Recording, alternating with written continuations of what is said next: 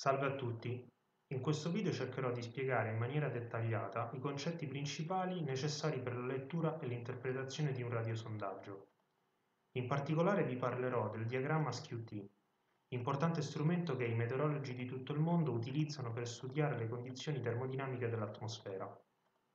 Il radiosondaggio è un importante strumento per l'analisi delle condizioni termodinamiche dell'atmosfera. Ogni giorno alle ore sinottiche principali, mezzanotte, le 6, le 12 e le 18 UTC, vengono lanciati simultaneamente più di un migliaio di palloni sonde in altrettanti punti del globo, attraverso i quali si misurano temperatura, pressione, umidità e vento, dal suolo fino ai 25 km di altezza. I dati così ottenuti vengono inseriti su di un grafico detto diagramma aerologico. Tra i più diffusi vi è il cosiddetto diagramma SQT logaritmo naturale di P. Tale diagramma è strutturato in questo modo, sull'asse delle ascisse vi è la temperatura e sulle ordinate la pressione. I valori di pressione sono riportati in scala logaritmica. All'interno del grafico le isobare sono tracciate parallele all'asse delle x, mentre le isoterme sono inclinate di 45 gradi verso destra rispetto alle isobare. Le altre linee presenti nel grafico rappresentano le curve delle adiabatiche secche le curve delle adiabatiche sature e le curve delle isochilometriche.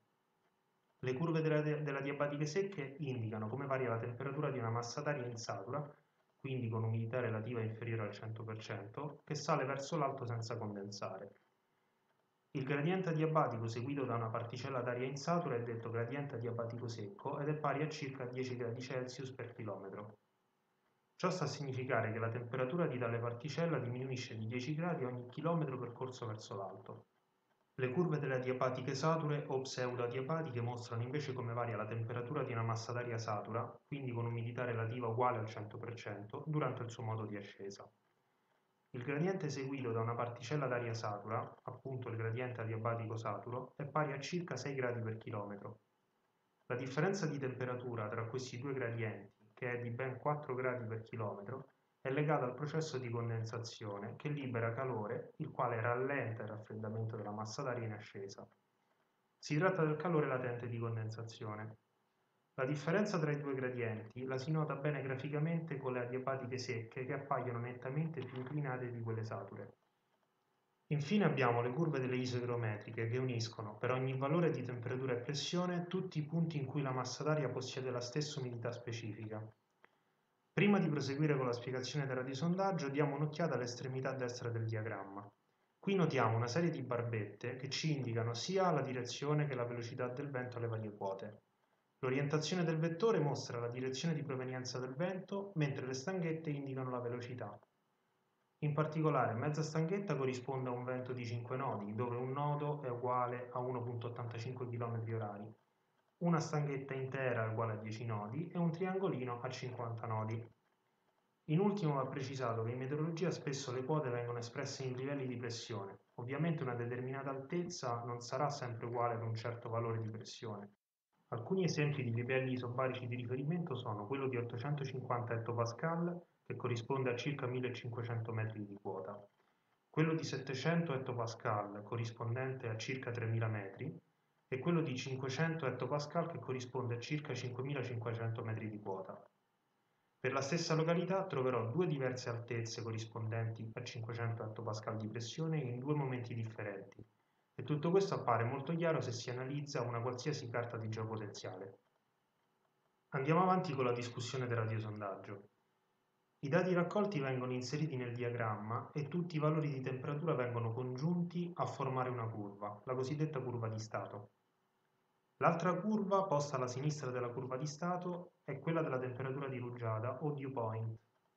Il dew point rappresenta la temperatura fino alla quale occorre raffreddare a pressione costante una massa d'aria per portarla alla saturazione e quindi per farla condensare.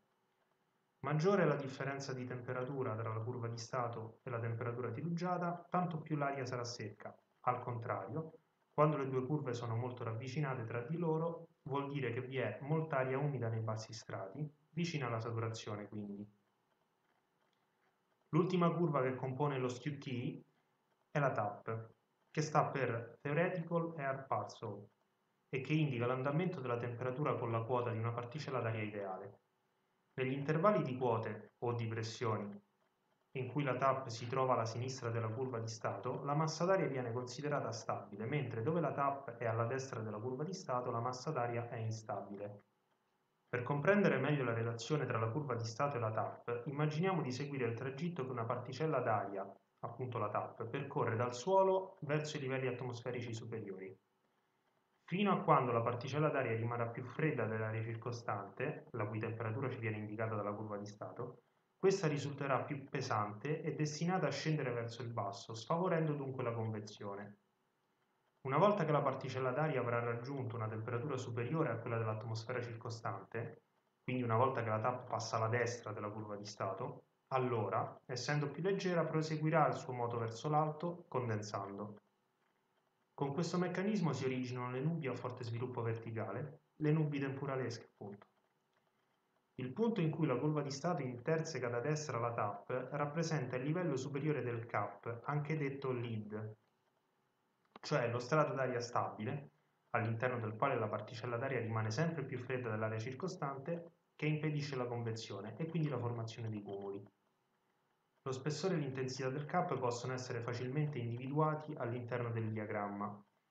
Il cap va ricercato in tutto l'intervallo in cui la TAP si trova alla sinistra della curva di stato, generalmente tra i 1000 e i 4000 metri di quota. La sua intensità è uguale alla differenza di temperatura tra la curva di stato e la TAP, laddove le due curve sono più distanti tra di loro. Non è altro che una temperatura e viene considerata significativa quando è superiore a 2-3 gradi Celsius. Lo spessore invece è quantificabile attraverso la distanza tra i due punti in cui la TAP rimane alla sinistra della curva di stato. All'aumentare dell'intensità e dello spessore del cap, diminuisce la probabilità che la convezione riesca effettivamente ad essere innescata. Al contrario invece, quando la TAP si trova alla destra della curva di stato, maggiore è la differenza di temperatura tra le due curve e maggiore sarà il grado di instabilità. Ok, questa prima parte termina qui. Nel video successivo vi continuerò a parlare di altre importanti informazioni che si possono estrapolare da questo diagramma e come tutto ciò può essere sfruttato al fine di elaborare una vera e propria previsione. Arrivederci al prossimo video.